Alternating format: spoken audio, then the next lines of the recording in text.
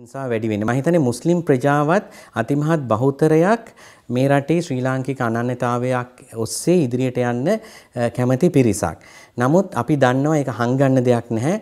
සමහර ඊටාම ප්‍රබල අන්තවාදී මතවාද ඇවිල්ලා තියෙනවා. ඒකත් එක්ක යම්කිසි සංස්කෘතිය වෙනස් වීමකුත් වෙලා තියෙනවා මේ මුස්ලිම් ප්‍රජාව තුල. එතකොට අපි නැගෙනහිර පළාතට ගියත් අපි ගොඩක් වැඩ කරනවා සංවර්ධන කටයුතු මේ ප්‍රදේශවල කරනවා.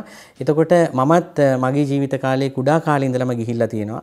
එතකොට එතනදී අපි අපි ශ්‍රී ලාංකීය මුස්ලිම් අනන්‍යතාවයක් ශ්‍රී ලාංකීය කිතුුණු අනන්‍යතාවයක් ශ්‍රී ලාංකීය බෞද්ධ අනන්‍යතාවයක් එක්ක අපි යුද්ධයක් තිබුණත් යම්කිසි විදිහක සංහිඳියාවක් බැඳීමක් තිබුණා.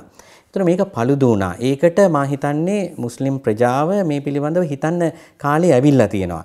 එතකොට ඒක ආමන්ත්‍රණය කරන්නේ කොහොමද? ඇත්තටම අපි පහුගියම අවුරුදු එකහමාරේ යම්කිසි විදිහක වැඩපිළිවෙලක් කරා.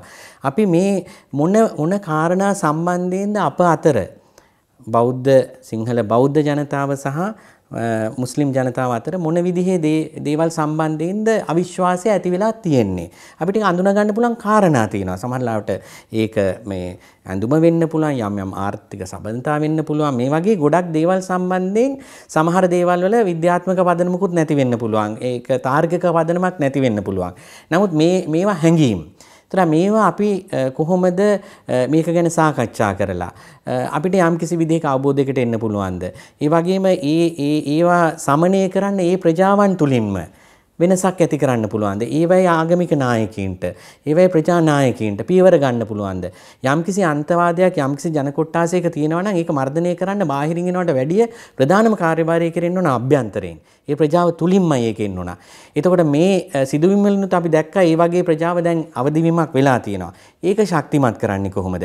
ඉතින් ඒ නිසා මා හිතනවා අපි මේ රටේ ජීවත් වෙන සිංහල දෙමළ මුස්ලිම් බර්ග මැලේ මේ හැම ප්‍රජාවක් මේ වගේ හැම ආගමක්ම මීට වැඩිය ඉදිරියේදී අපි අතර මේ අවබෝධය ගොඩනගන්නේ කොහොමද කියන එක ගැන කතිකාවතක් ඇති කරන්නට ඕන. ඒ කතිකාවතයේදී අපි දැනට මේ අවිශ්වා එකිනෙකා දිහා අවිශ්වාසයෙන් බලන කාරණා අපි අවබෝධ කරගෙන ඒක බොහොම විවෘත මනසකින් බලලා අපිට ඒ තුලින් යම්කිසි ක්‍රියාමාර්ග බිම්මට්ටමේ ඉඳලා ඉහළට ගන්න පුළුවන් නම් මම හිතන්නේ මේක සමනය කරන්න පුළුවන් කියලා. අනිවාර්යයෙන්ම මම හිතන්නේ අපි ඒ ශ්‍රී ලාංකික පුරවැසියන් හැම දිනාටම ප්‍රණාමය පුද කරන්නට ඕන.